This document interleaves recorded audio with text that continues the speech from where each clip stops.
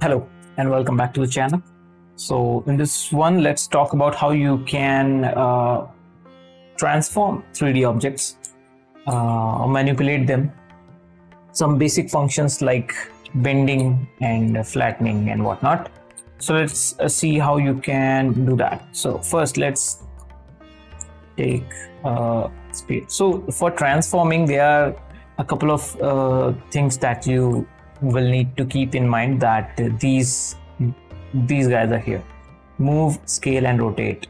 So WER is the shortcut. W for move E for scale and R for rotate. So as soon as you click on W let's make it polymesh 3D and click on W. You will get this uh, gizmo kind of effect. Uh, or gizmo actually. No okay. So gizmo is here. Yeah yeah. W. Okay. So this gizmo will let you move the object in any direction.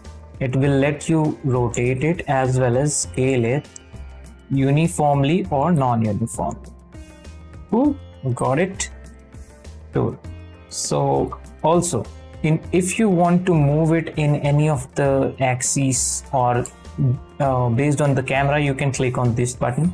Then you can move the object. This is moving not panning. I am moving the object. Let's let's append something to uh, just in case to demonstrate that i am moving the object in based on camera uh, movement or based on my view so that's how I move. So as soon as you press W, you will see a couple of these buttons are there. Suppose uh, you want to, your uh, this guy is there. How did I do that? I'll, I'll tell you. But you want to move it in the center of your object or the center of whatever is unmasked. You can hold Alt and click on this guy. This is go to unmasked uh, position. This one and suppose you have alt uh, basically means that you have unlocked the gizmo. Now you can move gizmo. If you release alt it will lock it and now you will move the object. Got it? So alt is the key. Alt will unlock the gizmo. Uh, you can move rotate the gizmo and then you can move according to your set gizmo. And if you remove alt or if you unlock it or if you lock it you can then move the object. So suppose you want to set the uh, gizmo as default, you can press alt or unlock it and click on this button. This is the reset orientation of your gizmo, then you can lock it. Also, if uh, I told you that, okay, so home, home will basically uh, send the object on the center of the grid or if you press alt and then click home it will send the gizmo at the center of the grid. Then you can rotate it according to the grid. It's helpful in many cases if you want to rotate something according to the grid or according to the center of your asset. So yeah again if you want to move the uh, gizmo to the center of the object hold alt to unlock it and then click on this map that pin icon that will move it. And this will just uh, this is sticky mode. It uh, it sticks the gizmo at the point of origin where it was originated from or where we take this pin where we clicked on the pin it sticks to that. If if the lock is there and then you click on home again it will it's gonna move to the center of that. So now what if we want to move all of them? There's this click which uh, if there are multiple ticks and multiple uh, rows that means that all the subtools are selected and now if you do move or rotate it's gonna move with uh, all the subtools in mind. In our case we have two subtools so it's moving and rotating in that way. So turn it off and on by just clicking on it. If there is a single one it will move just the single one. And if there are multiple it will move everything in the list of subtools. So that's that's something. Let's turn the doggo off and let's see what else we can do with the transformation. Let's um, okay so let's scale it up scale it down something like this suppose you have some subdivisions we do have some subdivisions that's fine suppose we want to bend this according to the modifier that we used to use in uh, max and maya. So you go to the settings customize and i want you to try all of them whatever you want. I'll just show you what i mostly use and what is sometimes useful.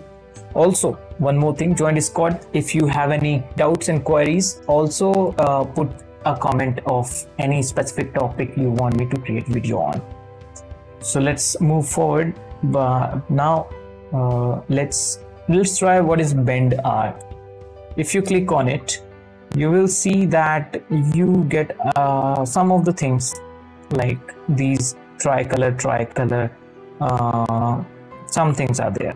So all these uh, manipulates the properties of this object that you want to edit. So this guy uh, uh, so basically orange is the action green is the angle where you want to uh, bend. And uh, let's turn off the frame by pressing shift F or you can come here and this. If you want these lines to show up you can click on line to turn it on and off. And if you want the fill to happen you can there is this little fill uh, so yeah. Keep that those little words in mind you can click on it to change the properties so twist will basically twist in some axis. This is again twisting. So yeah orange is twist. Uh, white is the value from where you want to uh, and green is your uh, action or angle. So as long the long uh, white will be the the green will affect from that area. So the green is low white is still here and if we move the green then we can manipulate white and see how it affects. So if you want if you like something like this and if you want to uh, also this is twist as i said so that's how you twist.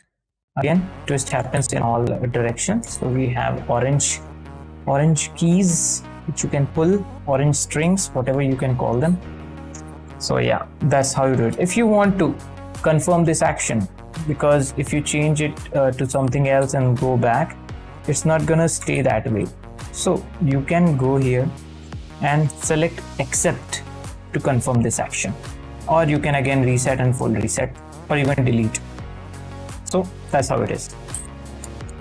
There are multiple things that you can try. Bend arc is there deformer is there inflate is there.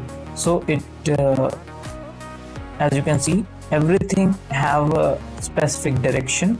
So it inflates from certain if you want certain direction if you want to inflate it from bottom or top or side you have those things. This if you hover over any of this you will see that uh, it, it says the properties. In this case we have if we if i just pull it uh, to one we have the symmetry on in x. So yeah that is what it is. So that's how it is inflating in x uh, i mean symmetrically. Also whatever we have what else do we have? Uh, we can just reset it. We can again delete this modifier. It's kind of modifier. And you can slice it. You can smooth it. You can taper it. You can twist it. Let's try twist. How is it? Twist is basically twist in y direction in uh, z direction in x direction. It's pretty handy tool. I would like you to give it a try because it will be very very helpful. So that's how you can twist. So yeah i guess that's pretty much it for uh, transforming the object in a ZBrush. So WER remember WER very useful. And practice all these buttons then go through some of them. You might find them useful. Crease taper twist everything is nice bend very useful. So yeah uh, go through them and let me know if you have any doubts. I will try to clear them up on discord or in comment section. So that's it. I guess i covered the transformation basics and as as we go along i will go in depth and cover the sculpting and everything. And let's in the next class let's see how you can subdivide using the basic subdivision as well as dynamic subdivision. So i will see you there. Take care and like this video so that it reaches to more people. I'll see you later